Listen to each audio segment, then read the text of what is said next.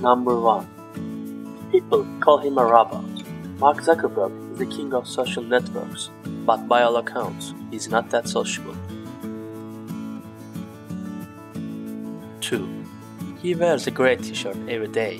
Zuckerberg purposely keeps his wardrobe minimalistic because it saves him the time and energy that will be wasted on thinking about what to wear. 3. He is colorblind. Facebook might be one of the biggest websites in the world, but the design isn't necessarily exciting. Sure, it's functional, it works well, and it's easy to understand, but what's with all the blue? Well, everything has a reason. Mark Zuckerberg is actually red-green colorblind. That might also explain his fondness for those gray t-shirts. 4.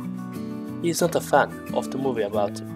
The Social Network, starring Jesse Eisenberg, tells the story of Zuckerberg's fallout with Facebook co-founder Eduardo Saverin. The movie received a lot of acclaim and backup full of awards, and is often cited as being a source of inspiration for many startups and entrepreneurs. One guy was not a fan, though, is Zuckerberg himself.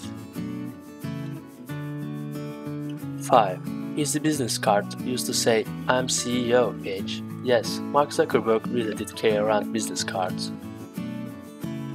If you liked our video, please press the like button and you can subscribe. And if you want to support us from the Patreon, you can see the link below our video.